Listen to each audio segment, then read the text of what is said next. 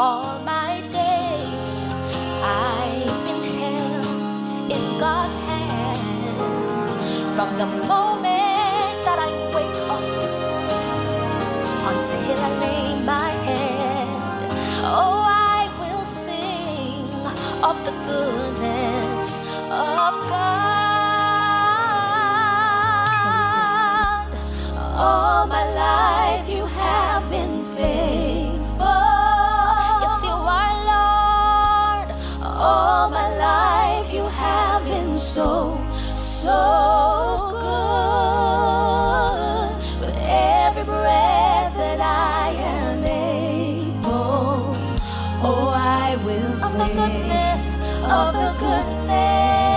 of God. He says, I love your voice.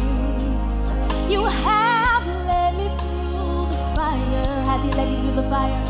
In darkest nights, you are close like no other. I've known you as a father. I've known you as a friend. Goodness of God. Yeah. All my life you have been faithful. Yes, you are, Lord. All my life you have been so, so good.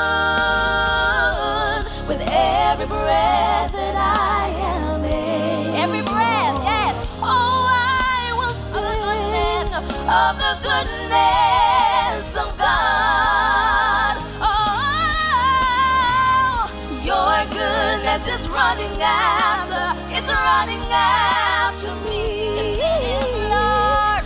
Your goodness is running after, it's running after me. With my life laid down, I surrender now. I give you everything. Goodness is running after, it's running, running, running, running.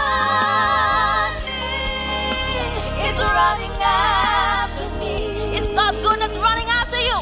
Your goodness is running after, it's running after me. With my life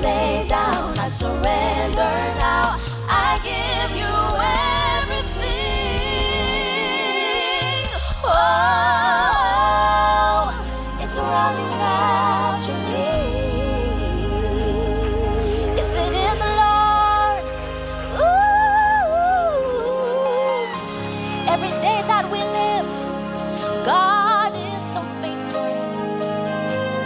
And we're human, so sometimes we're not faithful to Him, but He is still so good.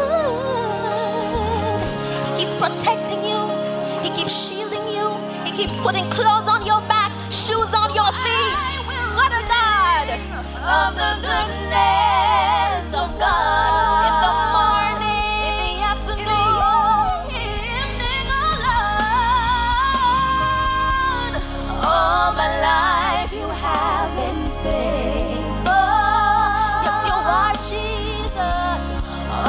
my life you have been so, so good. With every breath that I am able, oh, I will sing of the goodness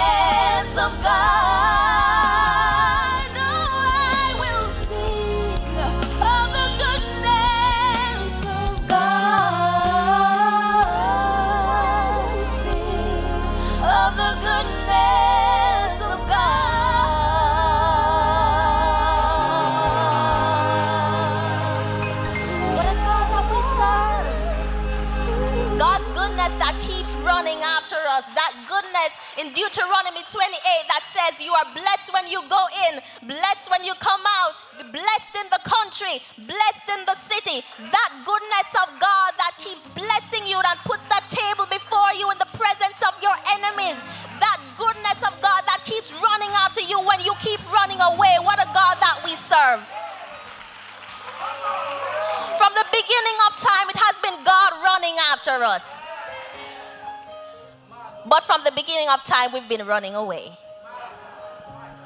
But God still keeps running after us. What a God that we serve. It's God, God's goodness that keeps us in the fire. And it says, When you go through the fire, you shall not be burned, neither shall the flame kindle upon you. It's that goodness that when you go pass through the waters, it shall not overflow you. What a God that we serve. I know some of you went through the, the fire this week. And many of you thought you were burned. But imagine if God's hand wasn't on us, you'd be consumed.